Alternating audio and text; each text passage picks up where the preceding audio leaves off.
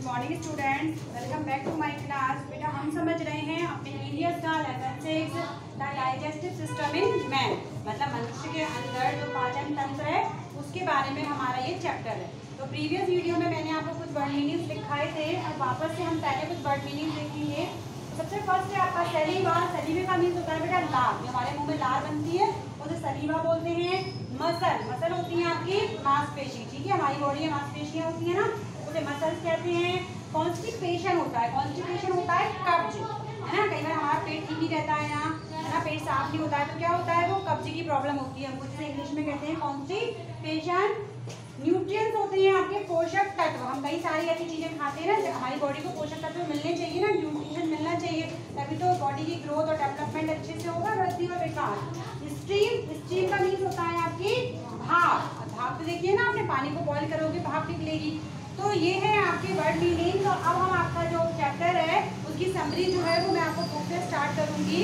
तो स्टार्ट करते हैं अपना जो चैप्टर है lesson six the digestive system in man तो देखिए सब अब हमारा आज का टॉपिक है in the small intestine small intestines बेटा क्या होता है? छोटी आंत। हमारी बॉडी में टू टाइप्स की आंतें होती हैं। एक क्या होती है? बड़ी आंत, जिसे आप क्या कहेंगे? लार्ज इंटेस्टाइन और जो छोटी आंत होती है, उसे आप क्या कहेंगे? स्मॉल इंटेस्टाइन ठीक है? हिंदी में बोलते हैं इंटेस्टाइन्स का मीन्स होता है आँत। हमारी बॉडी के अंदर आंतें होती हैं ना, वो। तो आज मैं आपको अभी क्या बता रही हूँ? इन द स्मॉल इंटेस्टाइन तो the in the small intestine the small intestine the long coil tube हमारा जो स्मॉल इंटेस्टाइन्स होता है, जो हमारी बॉडी में छोटी आंत होती है, वो एक लंबी कैसी होती है? कुंडलित ट्यूब टाइप की होती है। मतलब आपको पिक्चर दिख रहा है? आपके देखो गोल गोल गोल दिख रहे हैं ना सर? देखो तो बगल से स्मॉल इंटेस्टाइन का पिक्चर दिखाई दे रहा है ना? हाँ। तो ऐसी कुंडलित होती है, ये आपकी एक ट्यूब होती है और लंबी होती है। Here the food mix with the digestive juices secrete by liver pancreas and by the wall of the small intestine अब आप जो भी खाना खाते हैं ना तो वो क्या होता है? आपकी पेट के अंदर जाके डाइजेस्टिव जो जूसेस होते हैं ना, पाचन जो रस होते हैं, उसमें मिक्स हो जाता है। और हमारे, उसके अंदर क्या क्या होता है आपके? लिवर प्रेजेंट रहता है आपका पेनक्रीज होती है, और आपकी wall of the small intestines और आपकी क्या रहती है? जो छोटी आंत होती है, उसकी दीवार होती है, उसके अंदर। The bile juice that comes from the liver change fats into a simple form and the pancreas juice and intestines juice completely complete the digestion of carbohydrate fats and protein अब क्या होता है कि ये सारी चीज़ें जब हमारी बॉडी के अंदर जाके जो जूस होता है, जब the bile juice that comes from the liver जो जूस होता है, जो लिवर से आता है, उसके बाद क्या होता है, आपका जो फैट होता है ना, वो सिंपलर फॉर्म में चेंज हो जाएगा। और उसके बाद वो क्या होगा pancreatic juices and intestine juice completely the digested of carbohydrate जब आपका ये पैनक्रेटिक जूस होगा, ये क्या होगा आपका? और इंटेस्ट्रियल जूस जो होता है, वो पूरी तरीके से जब आपकी बॉडी में डाइजेस्ट हो जाएगा तो क्या होगा? डाइजेशन के बाद में आपका कार्बोहाइड्रेट फैट और प्रोटीन का निर्माण होगा। तो देखिए कार्बोहाइड्रेट्स क्या होते हैं आपके? सिंपल शुगर लाइक ग्लूकोज होता है आपका कार्बोहाइड्रेट फैट क्या होते हैं? फैटी एसिड और प्रोटीन्स क्या होते हैं? अमीनो एसिड ठीक है?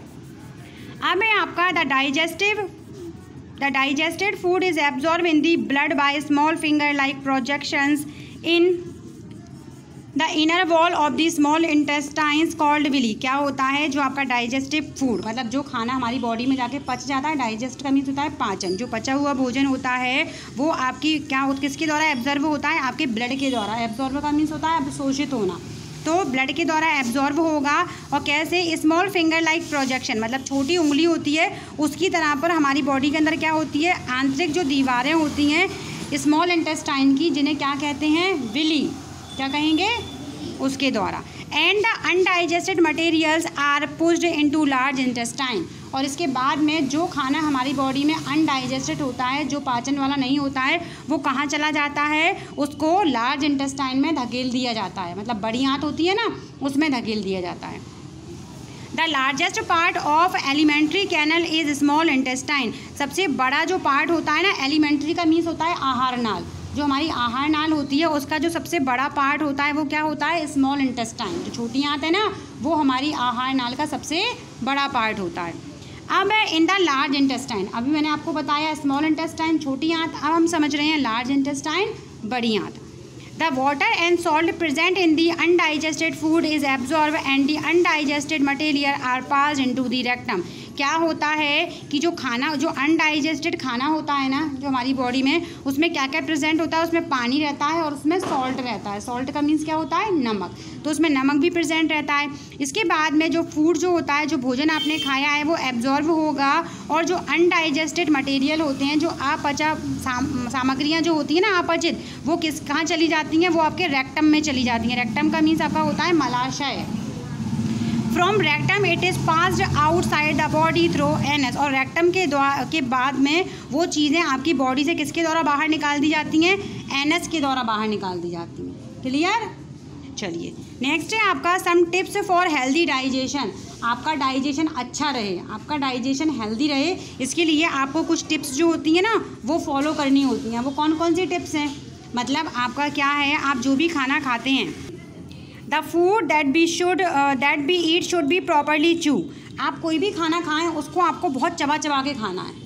ठीक है? अगर आप जल्दी जल्दी जल्दी जल्दी खाना खा लेंगे, उसको ठीक से चबाएँगे नहीं तो वो खाना आपके पेट के अंदर जाकर ठीक से डाइजेस्ट नहीं होगा। तो आपको क्या करना है? आप जो भी खाना खाते हैं, उसको क्या करना है? बहुत चबा चबा कर खाना है। अब है आपका this enable saliva to mix well and easy swallowing इससे क्या होगा? आपकी मैंने कहा ना सलीबा का मीन्स होता है लार। हम जो भी खाना खाते हैं, वो क्या होता है? लार के साथ मिक्स हो जाता है, फिर हमारी पेट के अंदर पहुँचता है आहार नाल के द्वारा। तो क्या होगा? आप खाने को अच्छे तरीके से चबा चबा कर खाएँगे तो उसमें लार मिक्स होगी और वो आसानी से आपके आहार नाल के थ्रू स्टमक में पहुँचेगा और अच्छे से डाइजेस्ट होगा।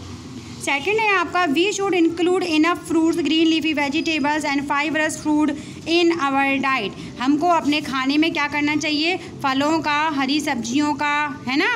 हरी पत्तेदार जो सब्ज़ियाँ होती हैं ना, उनका और जो फाइबरस रूट होती है ना, उनका यूज़ करना चाहिए, ठीक है? इससे क्या होगा this kind of food avoids constipation constipation का मीन्स मैंने आपको बताया ना, कब्ज. इससे क्या है, आपके पेट के अंदर कब्ज नहीं होगा. आपको कॉन्स्टिपेशन नहीं होगा, कब्जे की प्रॉब्लम नहीं होगी आपको. Eating at regular intervals keep the stomach healthy आप कभी भी खाना खाते हैं ना तो कुछ कुछ अंतराल पर खाना चाहिए। ये नहीं कि अभी खाया, तुरंत से फिर खा लिया, एक मिनट बाद फिर खा लिया, फिर खा लिया। तो सारे दिन अगर हम खाना ही खाते रहेंगे तो पेट में बहुत सारा खाना चला जाएगा। तो पेट भी तो बेचारा बीमार हो जाएगा ना। तो हम खाना खाते हैं तो जैसे हमने लंच कर लिया, उसके बाद रुकेंगे, फिर दोपहर में खाएँगे, फिर शाम को हल्का फुल्का खाया, फिर नाइट में डिनर किया, ठीक है? तो कुछ कुछ अंतराल के बाद कुछ कुछ इंटरवल में इस अंतराल के बाद खाना चाहिए। Over eating leads into indigestion अगर आप ओवर ईटिंग करते हैं, आप बहुत ज़्यादा खाना खाते हैं तो उससे क्या होता है? इन डाइजेशन हो जाएगा मतलब वो खाना आपकी बॉडी में पच नहीं पाएगा। ज़रूरत से ज़्यादा खाना खा लोगे तो क्या हो सकता है?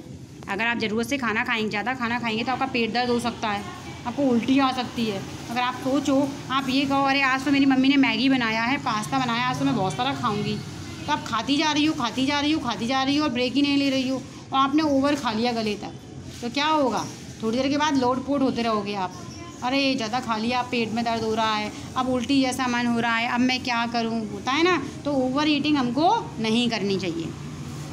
Always take a balance diet हमेशा बैलेंस डाइट लेना चाहिए, संतुलित आहार लेना चाहिए। बैलेंस डाइट होती है ऐसा आहार जिसमें क्या है, सारे पोषक तत्व प्रेजेंट रहते हैं। मतलब हम ऐसा खाना खाएँ जिसमें हमारी बॉडी को विटामिन न्यूट्रिशंस कार्बोहाइड्रेट प्रोटीन वसा, सब कुछ मिले। तो ऐसा भोजन क्या होता है? बैलेंस डाइट होता है असंतुलित आहार होता है। अब है आपके मेथड्स ऑफ़ कुकिंग मेथड समझते हो? विधि और कुकिंग मीन्स पकाना। खाना पकाने की यहाँ पर आपको कुछ विधियाँ बताई गई हैं। अब खाना तो घर में मम्मी बनाती होंगी ना? मम्मी बनाती हैं? हाँ। तो खाना पकाने की बहुत सारी विधियाँ होती हैं। आपको प्लीज़ समझना है कौन कौन सी होती हैं। तो देखिए the food that we eat should be properly cooked जो भी खाना हम बनाते हैं, उसको अच्छे तरीके से हमको पकाना है। ये नहीं कि कच्चा खा लिया। आधा पक्का और आधा कच्चा। उससे भी क्या होगा? पेट दर्द हो जाएगा। डाइजेशन नहीं होगा ठीक से पेट में तो खाना अच्छे से पका होना चाहिए। अगर मान लो रोटी अच्छे से पकी नहीं होगी तो क्या होगा? पेट दर्द ही होगा, है ना? तो हर चीज़ अच्छे से पकी होनी चाहिए। Cooking makes food soft easily digested क्या होता है, जब हम खाने को पकाते हैं तो पकाने से वो क्या होता है? सॉफ्ट हो जाता है, जिससे वो आसानी से डाइजेस्ट हो जाता है। सब्ज़ियाँ जब हम लाते हैं तो वो सॉफ्ट नहीं होती हैं। जब आप उनको पकाते हैं तो वो सॉफ्ट हो जाती हैं ना तो आसानी से फिर वो डाइजेस्ट हो जाएँगी। इट ऑल्सो किल्स द जम इन दी फ़ूड अब जब आप खाने को पकाते हैं तो उसमें जो भी जम्स रहते हैं ना तो वो भी क्या होते हैं? मर जाते हैं पकने से, है ना? बस। अब देखिए कुकिंग मेथड बताए गए हैं। आपको जो पकाने की विधियाँ हैं अलग अलग वो बताई गई हैं। फ़र्स्ट है आपकी स्टीमिंग स्टीम का मीन्स होता है, बेटा, भाप। बहुत सारी चीज़ें होती हैं जो स्टीमिंग के दौरान बनाते हैं। आपके घर में बनती है ना, इडली? इडली को स्टीम करते हैं ना भाप में पकती है वो। सेकेंड है आपका बॉइलिंग बहुत सारी चीज़ें जिनको आप बॉयल करेंगे, चावल बनते हैं बॉयल करना पड़ता है, करने पड़ते हैं। इसके बाद है रोस्टिंग मतलब किसी भी चीज़ को सेकना, है ना? इसके बाद है आपका फ्राइंग बहुत सारी चीज़ें आप फ्राई करते हैं कि नहीं करते हैं? पूड़ी को फ्राई करते हैं करते हैं, पराठे को करते हैं। अब बेकिंग बेक समझते हो ना चीज़ों को? केक बनाएँगे तो बेक करना पड़ेगा ब्रेड बनाएँगे तो बेक करना पड़ेगा। तो ये बेकिंग ये आपके अलग अलग मेथड है कुकिंग की।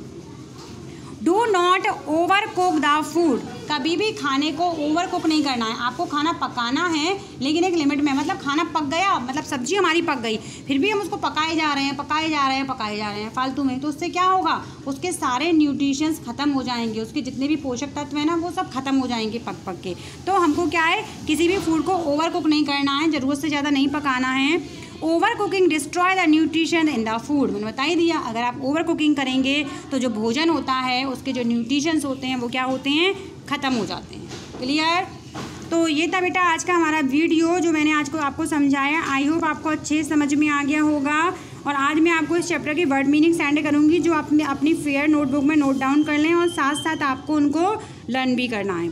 और नेक्स्ट वीडियो में हम समझेंगे इस चैप्टर की बुक एक्सरसाइज एंड इसके क्वेश्चन आंसर्स थैंक यू